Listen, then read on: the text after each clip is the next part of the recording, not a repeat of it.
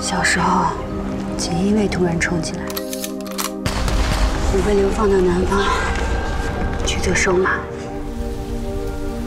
是他救了我。他向我发誓，会倾尽所能，杀魏忠贤，扫除阉党。你敢吗？东厂的魏公公听说最近上火厉害，原来就是为了这件事。失恋、赔轮，所有知情者都不能留。一个都不能让他们跑掉！拿尸首来领赏。要想不这么死，就换个活法。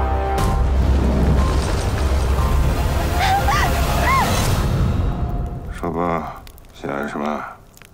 一条生路。